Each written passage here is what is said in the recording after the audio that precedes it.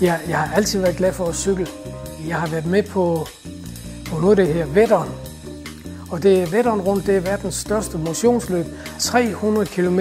Det var så godt, selv om det regnede fra jeg startede og til jeg kom i mål. Mit navn er Edmund Kling, og jeg bor i Sønderborg. For tre år siden, der kunne jeg komme af med vandet. Jeg løb mange gange på toilettet om natten. Det startede med 1, 2, 3, 4, 5, og så blev det 6, 7, 8, 9, 10 og 12 gange om natten. Og jeg fik jo ikke nogen søvn. Jeg var jo mere op om natten, end jeg var i sengen. Øh, så fik jeg jo hjælp fra Sønderborg sygehus, hvor de var dygtige og kunne tømme mig. Fordi jeg havde jo 1,7 liter urin i nyren, og det fik jeg tømt. Der kan jeg godt sige, der blev jeg født på ny, fordi det var en lettelse at komme af med alt det hele der. Det andet det er ikke til at holde ud. Da jeg fik fast kateter og kom hjem, der kunne jeg ligesom starte forfra. Jeg skulle ikke så mange gange op om natten. Jeg kunne nøjes med en tre gange om natten, tre-fire gange. Men der er så mange bivirkninger med et fast kateter til, det er ikke lykke at få sådan et. Man får blærebetændelse, og det har jeg haft flere gange. Også når jeg skulle køre bil og komme ind og komme ud af den, jeg kunne mærke det hele tiden, det fast kateter. Det eneste tidspunkt, hvor du ikke mærker noget, det er, hvis du ligger i seng. Der mærker du ikke noget. Mm, der ligger du bare. Men det er jo ikke lykke at ligge i sengen. Se, engangskateter, det vidste jeg, og det kendte jeg slet ikke noget til, da jeg kom på sygehuset.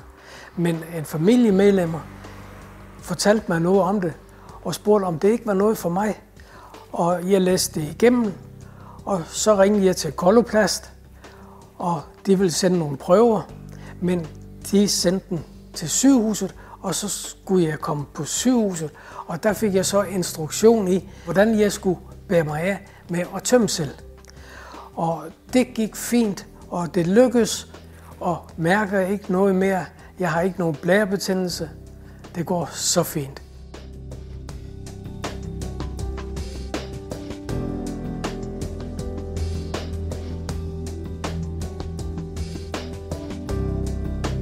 Kommunen ringede til mig og sagde, at de havde nogle kateter, jeg kunne bruge. Jeg kørte så ud og hentede dem og kom hjem med dem, men det fungerede slet ikke. Det kateter, jeg fik ved kommunen, det var alt for langt. Så er det smertefuldt, og jeg kunne slet ikke føre det ind. Det lykkedes ikke for mig.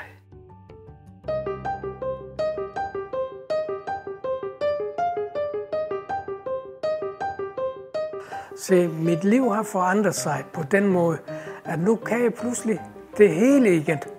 Nu har jeg ingen problem med at cykle, jeg har ingen problem med at sidde i bilen, jeg har ingen problemer i dag. Og det er jo så fint, at jeg bestiller den ved Koloplast, og dagen efter, så får jeg nyforsyning. Og så kan jeg klare mig en hel måned eller to. Og det er en fantastisk god service, man får. Jeg har aldrig fået sådan en god service før. Nogle steder. Det fungerer bare. Ingen problem.